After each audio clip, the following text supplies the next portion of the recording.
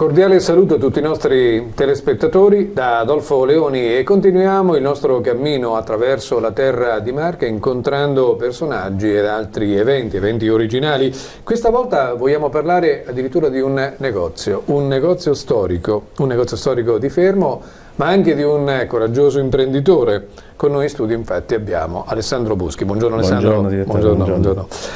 Iniziamo il nostro dialogo allora con Alessandro magari con una battuta che potrebbe essere questa, si legge Maffei ma si pronuncerà Buschi.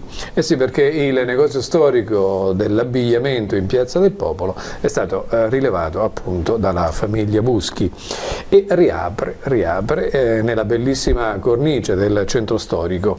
Buschi da Tazzolina a Porto San Giorgio dunque arriva a Fermo. Alessandro, perché questa scelta? Ma, eh, diciamo che è stata una cosa non, non inaspettata.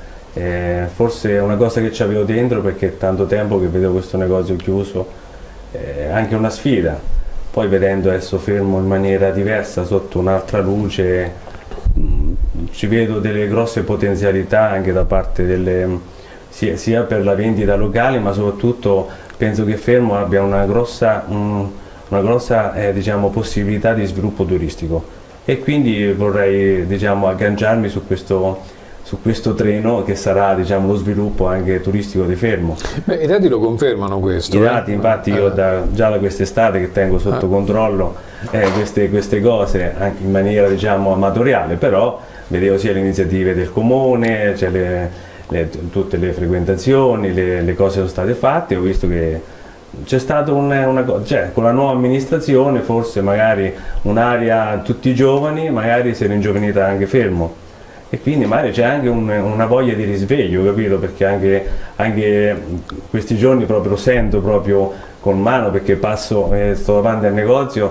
per fare anche pubbliche relazioni, vedo le persone sono tutte contentissime di questa nuova riapertura, quindi cioè, speriamo ecco, di andare, sono, sono, convinto della buona riuscita dell'operazione. Diciamo. Senti, allora tanti abbandonano o perlomeno hanno abbandonato il centro storico, tu invece ci stai tornando. Ah, io ci credo questo, molto ecco, nel centro storico perché... Tu cioè, ti definisci a volte un paesano. Io un, un paesano provinciale. un paesano provinciale. provinciale. però nel senso più nobile. nobile perché eh, io...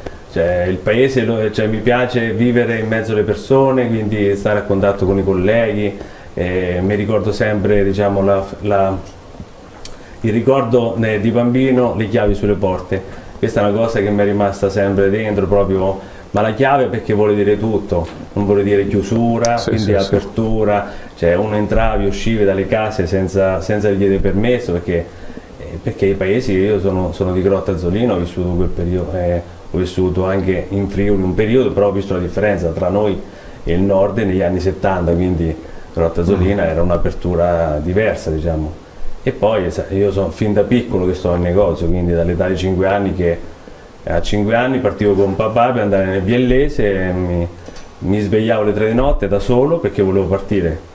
E mi trovavo davanti alla porta e mia madre mi doveva vestire perché io non facevo uscire mio padre. Ah, quindi, quindi è una cosa che ho eh. fin da piccolo. Io veramente dopo mettevo in macchina dormivo la mattina mi trovavo su a Biella eh, mm. Astrone Biellese. Nel, nel... Perché andavate su? Eh, perché, perché vabbè, questo... la famiglia nostra, mm. mio nonno Venanzo è quello che ha fondato la ditta nel 1913 con una sartoria che pian piano già nel 1926 aveva raggiunto... Quindi avete oltre un secolo? Sì, abbiamo fatto ah. 100 anni quindi nel 2013 aveva, fatto, quindi aveva aperto questa sartoria che già nel 26 aveva più di 40 lavoranti e poi c'è un ritorno a fermo perché mio nonno in via dell'università aveva eh, un recapito per fare le prove per eh, le persone di fermo. Quindi lui veniva la mattina, due volte a settimana, faceva le prove, si appoggiava ah. sotto il palazzo del, del conte eh, eh, Falconi, Falconi, Falconi, conte mm. Falconi e quindi dopo mandava le, diciamo, i mesi a fare le prove e niente, quindi c'è un ritorno diciamo, anche a, per noi a Fermo. Senti, passeggiando sotto i portici stupendi di Piazza del Popolo, quelli a mare dove state voi, eh, vedo quelle insegne stupende. Maffei rimane oppure... Maffei è la storia di Fermo, quindi è impossibile levarla. Non mm. Cioè noi metteremo il nostro, il nostro logo allora. identificativo, però la storia eh, non si può cancellare. Senti, noi... il pavimento come lo fai? Il? Il pavimento. Il pavimento quello che c'è, non si tocca niente. Cioè, deve, cioè, I fermani devono rientrare e risentire diciamo, l'aria, che non è cambiato niente, c'è stato un periodo che questo libro è stato portato in legatoria per ah, ecco. rilegarlo e adesso lo riapriamo. Certo. Speriamo che... Senti, tu sei in qualche maniera figlio d'arte, perché mi dicevi sì. tuo padre, tuo nonno... Sì, sì, è la terza generazione, quindi fin da piccolo ho avuto sempre questa passione del commercio, delle... Eh, una cosa che ho avuto periodi diciamo che magari eh, un po' dicevo ma potevo fare un'altra cosa, eh, ecco. però dentro di me cioè, non potrei fare altro che questo. Mm. Senti, quando hai detto a tuo padre vado a fermo oppure... No, papà è sempre l'anima critica della cosa. Lui pensa che non l'ascolto, però dentro di me devo ascoltare sia lui e devo ascoltare pure... Cioè, c'è l'istinto che ho, io credo, cioè credo in, questa, in questa riapertura perché cioè, il nostro prodotto a fermo non c'è quindi non, cioè, penso di non creare, di, di essere solo un, un, qualcosa di aggiuntivo sì, a, sì, sì, a tutte le occasioni che ci affermo, qualcosa in più. Ecco. Quindi... Senti, ho saputo che di un'azione che hai fatto eh, ed è molto bella, quindi adesso la raccontiamo.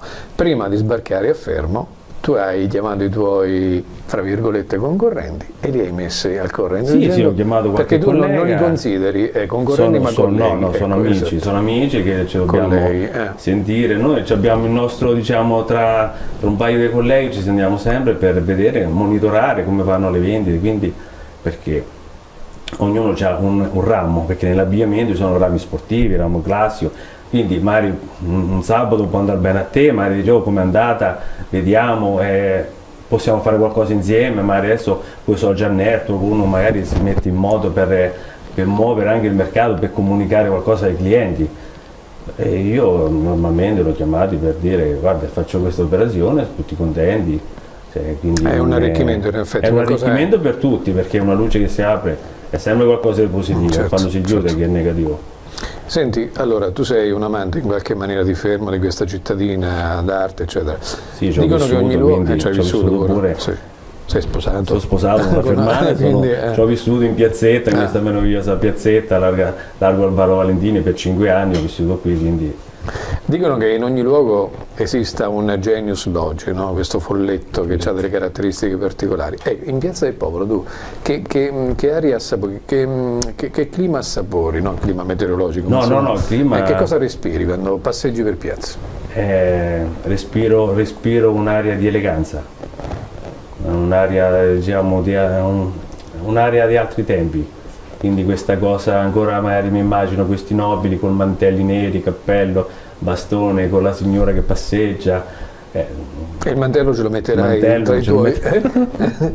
però è bello, avevo pensato a fare una cosa così, però non ho trovato eh, volevo, volevo, mettere dei figuranti che passeggiavano con queste cose ottocentesche, eh, so, ottocentesche. Ci avevo pensato dopo, poi magari alla ma, fine dell'opera del, del, certo, Teatro dell'Elmina quindi... sarebbe bello no? far passeggiare 20 persone tutti figuranti in Piazza del Popolo vestiti primi, primi Novecento Senti, quello che tu farai metterai su qui a Fermo si differenzia un pochettino da Porto San Giorgio e da Grottazzolino no, no, oppure sempre, una continuità? sempre il nostro prodotto è sempre quello, la tipologia è quella eh, però ecco, rimettiamo, i prodotti sono uguali, ecco.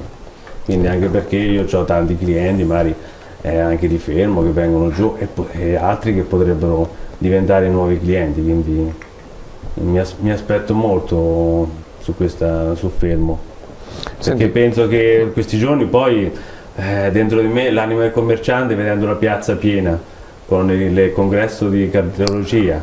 Poi eh, domenica poi fai, vedendo questi turisti mi ha preso un attimo e ho detto ma perché non l'ho fatto prima?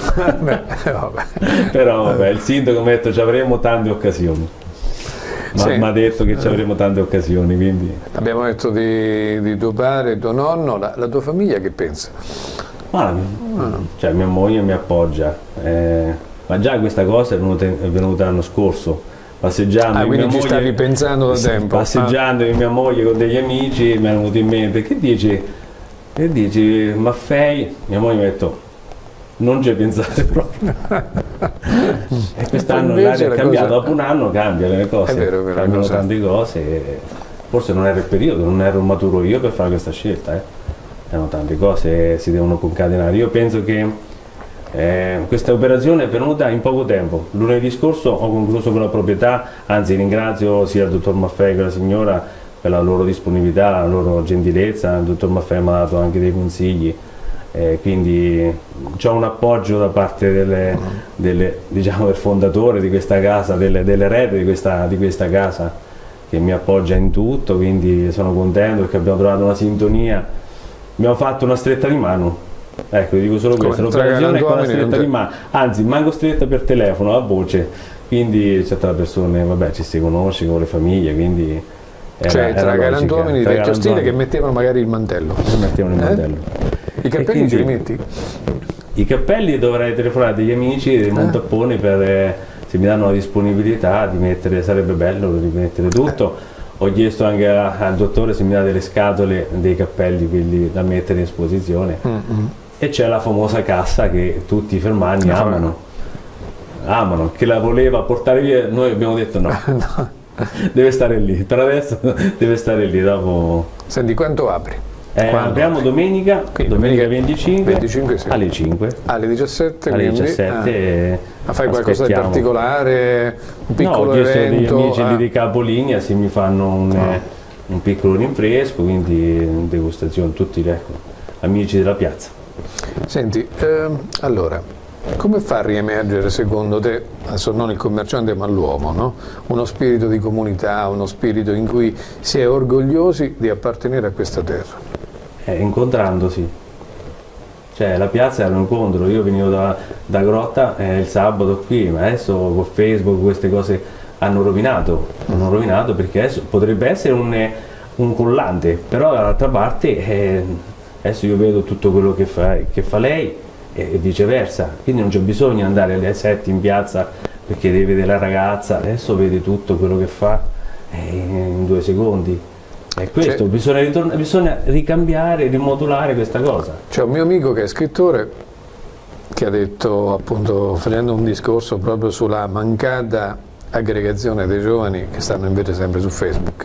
C'è Facebook che ti dà tutto, ma cioè, diciamo, tutti gli strumenti social ti danno tutto, ma non il profumo dei limoni. Eh, beh, Quindi non il profumo magari, che so, della, del pavimento in legno. Manca non... uno sguardo, manca uno eh, sguardo, non è, sia di assenso eh. che di dissenso, cioè sono eh, l'emozione che provi vedendo una persona non la provi vedendo un'immagine, cioè quella è la cosa... Eh, ma ritornerà, come dicevamo prima, si ritorna, si ritorna a vivere dentro questi paesi perché le città sono diventate invivibili, quindi Ormai i sociologi l'hanno detto e ribadito più volte, c'è una sorta di controesolo. Controesolo. controesolo. Noi le marche che vogliamo dire, io non potrei, cioè, non potrei essere felice di stare in una regione più bella di questa, cioè abbiamo tutto, cioè abbiamo tutto, quindi dal mangiare in poi non ci manca niente, siamo fortunati.